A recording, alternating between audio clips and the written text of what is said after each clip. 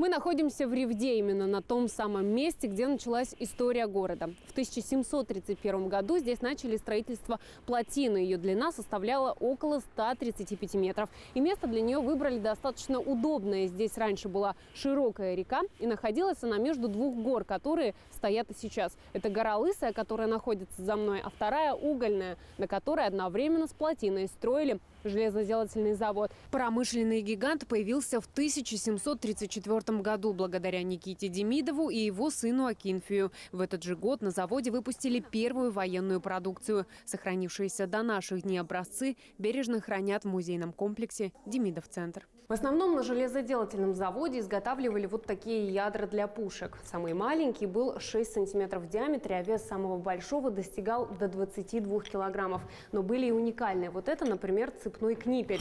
Внутри двух полусфер спрятана вот такая цепь. И когда снаряд вылетал из пушки, он хаотично вращался по воздуху и сбивал мачты вражеских кораблей. При плавке руды в доменных печах на заводе использовали древесный уголь. Его добывали по особой технологии. Сначала строился вот такой колодец, укладывался слой дерна, а, бревна, строилась сама куча с малым доступом воздуха течение 45 дней происходило тление. По истечении этих 45 дней куча заливалась водой, и полученный уголь нужно было разгрузить, загрузить в телеги и привезти на завод. Доставляли уральскую продукцию по всей России. В музее Демида в центре можно не только окунуться в историю, но и стать ее частью. Например, побыть в роли управляющего завода, посидеть в кожаном мягком кресле, ознакомиться со старинными документами или, например, вызвать помощника для дела.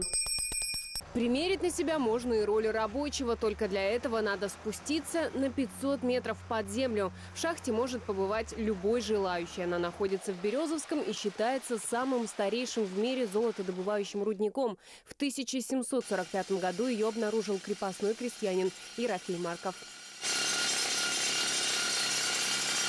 За всю историю в Березовском работало 56 рудников и сотни старательских шахт. Сейчас функционируют только три – южная, северная и центральная. Кроме того, для туристов создали максимально реалистичный музей-шахту, где взрослые и дети могут попробовать себя в роли настоящего горнорабочего. Например, за 30 секунд преодолеть тоннель, который спасатели прокладывают после обрушения шахты. Например, стоп, один сигнал, два сигнала медленно вперед, а два быстрых сигнала быстро вперед. Также погрузиться в историю добычи драгоценных металлов можно в музее золота в Березовском. Гуляя по просторным залам, туристы узнают все о жизни старателей 19 века. За 250 лет, рассказывают в музее, на Урале было построено больше тысячи шахт. На сегодняшний день действующих осталось только четыре.